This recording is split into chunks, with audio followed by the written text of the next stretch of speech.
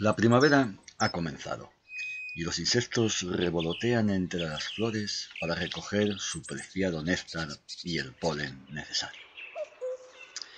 Ya vemos las prímulas, las violas, los ranúnculos con sus flores amarillas y la flor morada de la falsa ortiga del género Lamium que tanto y tanto gustan a los bombus terrestres. El diente de león también. En esta ocasión queremos observar a un pequeño insecto que fácilmente pasa desapercibido, quizá por su color, por su tamaño, incluso su canto es casi imperceptible. Para ello nos adentramos en un bosque de castaño cercano a la población de Pola de Elena en Asturias. Buscamos un pequeño grillo, el grillo de los bosques, Nemobius silvestris.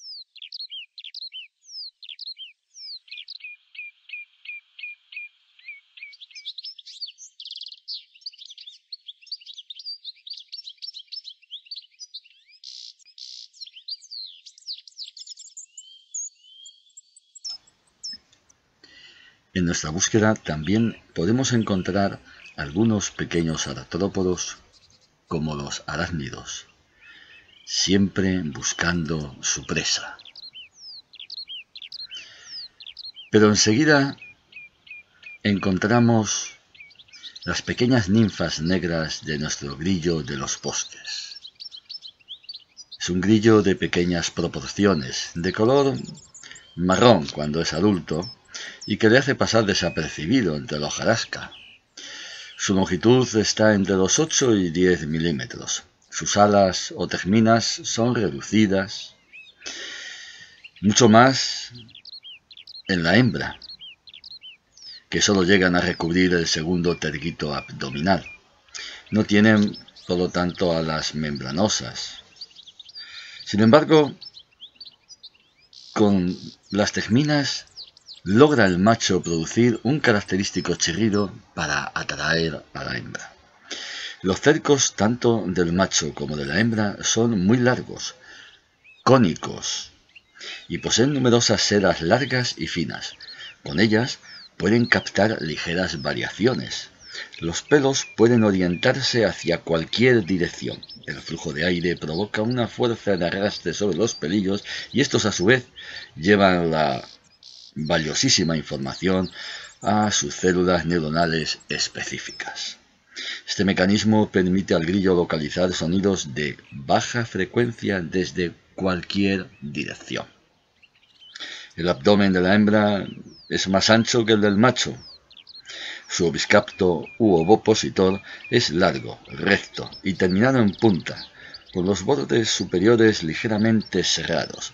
Mide entre 5 y 7 milímetros. Las antenas son filiformes y bastante largas como se puede apreciar. En cuanto al pronoto, este ostenta unos pelillos negros, largos y fuertes. El disco es ligeramente convexo. Por lo tanto, se trata de un grillo terrestre que no excava madrigueras no le hace falta. Su hábitat natural son los troncos caídos, la hojarasca, donde encuentra a su vez el sustento diario. Su alimentación se basa sobre todo en hojas secas, pero también en pequeños organismos que encuentre muertos, por lo cual podemos decir que se trata de un insecto omnívoro. Puede estar activo tanto por el día como por la noche y prácticamente durante todo el año, aunque en muchas regiones es normal que los adultos hibernen. Sus patas están adaptadas al salto, no como el de los saltamontes, ni muchísimo menos, pero es suficiente para poder escapar de cualquier depredador en un momento dado. Eh, por otro lado, también mm, corren con bastante rapidez por el suelo. Este peculiar grillo pasa el invierno tanto como huevos, bien ninfas e incluso de imagos.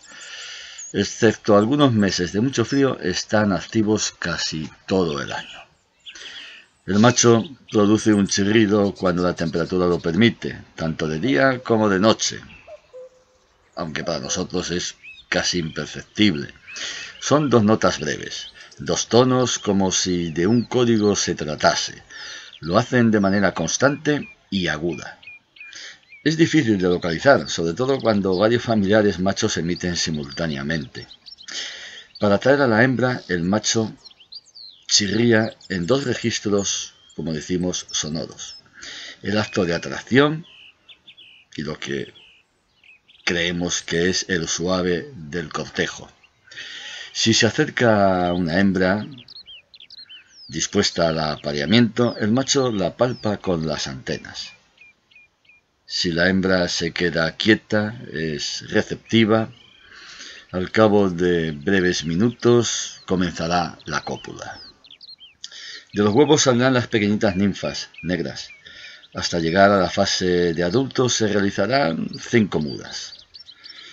Es como decimos, un insecto muy ágil, que huye de cualquier perturbación por saltos sucesivos y se esconde entre las hojas muertas o vegetación baja.